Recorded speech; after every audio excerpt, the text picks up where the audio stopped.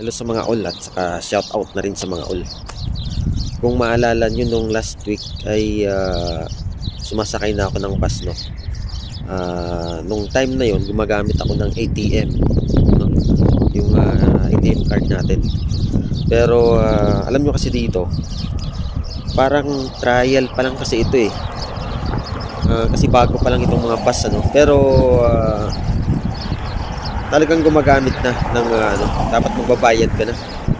Pero ang napansin natin, nung unang mga sakay natin ay ah, sakay baba lang yung iba, no? lalong-lalo ng mga katutubo. Kahit yung ibang lahi, ganun din ginagawa. Sasakay, hindi nagsaswipe. Ah, marami, marami talagang ganun. Lalo na yung mga kababaihan, eh, hindi na sila sinisita. So, itong mga kalalakihan din ay hindi na rin sinisita. So ginawa rin natin minsan. Hindi rin tayo nag-swipe. Subok-subok lang din kumbaga. Kumbaga, ano yun sila lang, di ba? Pero siyempre sa ating mga Pilipino kasi ay hindi tayo sanay sa ganun. Kumbaga, mahihain tayo. Ah, tapat. Tapat tayo sa ating mga ginagawa. So ang ginawa natin, instead na ATM card, ang ginawa na natin ngayon ay kumuha na ako ng card talaga ng pangbas. No? Para hindi na tayo mag-aalinlangan pag sasakay kasi kahapon nung pagsakay ko ay sinisita na. Ito, ito yung itsura niya. Oh. Yan. Ito yung itsura niya. So kahapon, ah, napansin ko naninita na yung driver. Siguro mga abus abusado kayo, sabi din siguro. Na at ang binubuksan na niya ngayon na pintuan ay yung sa harapan. Dati kasi lahat, kasi hanggang apat na pinto yan, ah, automatic pagkatigil sa bus stop, bubuksan niya yun. So, kahit saan ka pu- pumasok doon, hindi ka na masisitas. Kung madiskarte ka, sa likuran ka dumaan. O, di ba? Pero merong mga machine doon. Lahat ng pinto may mga machine. So, ang nangyari, marami ang dumadaan doon sa likod. Ang ginawa ngayon ng mga bus drivers, yung pinakaharap lang ang binubuksan niya.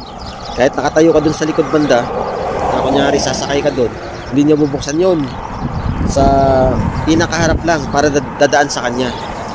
So, magkakahiyaan, di ba? At ah, siyempre, minsan sinisita niya. Sasabihin niya swipe. Pero pag nagsabi ka na wala kang card, ay pagbibigyan ka naman. Pero siyempre, tayong mga Pilipino ay tapat tayo, di ba? Ah, maaring ah, dyan sila kumukuha ng kanilang kita kahit ito ay parang trial pa lamang. So,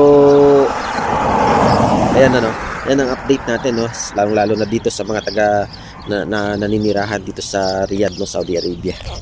So, kung gusto niyo sumakay ng bus, kumuha na kayo ng ah, card na tulad nito para hindi kayo mahihiya na sumakay. Swipe ka lang ng swipe.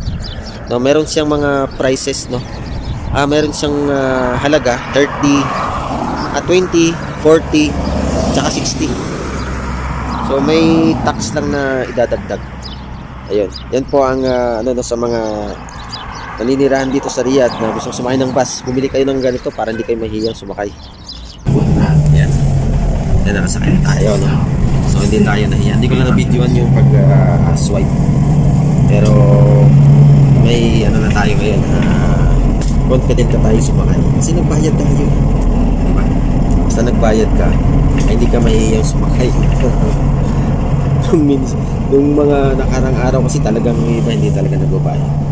Sakay, sakay sila ng sakay. So, at least ngayon, hindi tayo nahihiya. Maraming salamat muli sa inyong panonood sa aking malit na channel.